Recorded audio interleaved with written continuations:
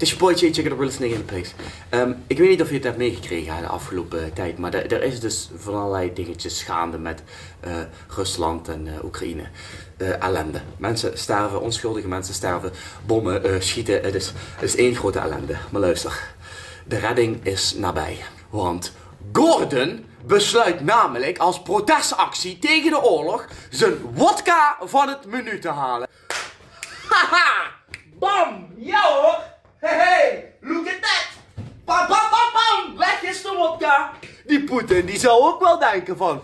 Eerst sancties van Rutte, sancties van Biden, nu ook nog sancties van Gordon. Poe, poe, wat moet ik nu nog doen?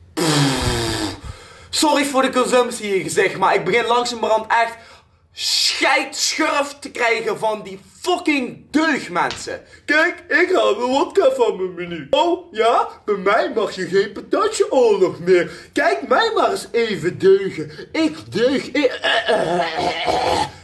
Gadverdamme, nee. Maar waar jullie mee bezig zijn is het dehumaniseren van een bepaalde bevolkingsgroep. En als we naar de geschiedenis kijken, weten we hoe gevaarlijk dat is. Oké, als je dat wilt doen, prima. Maar dan gaan we even het volgende afspreken.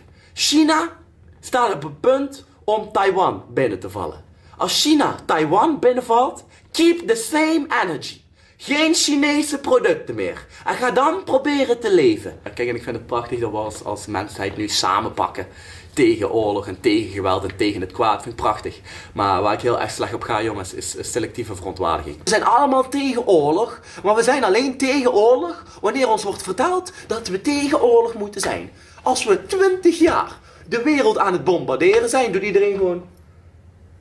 Nou trouwens, weet je wat ik gisteren heb gegeten? Broodje bal. Er sterven onschuldige mensen. En maken we daar ons alleen druk om als de televisie zegt dat we daar ons druk over moeten maken? Um, ja. Ja, nou, dat stoort me. Er wordt je precies verteld wie je moet haten. En dan wordt je precies verteld wie je absoluut niet mag haten. Er wordt je verteld wat je mag denken. Er wordt je verteld wat je absoluut niet mag denken. Jullie staan voor mensenrechten wanneer het je uitkomt.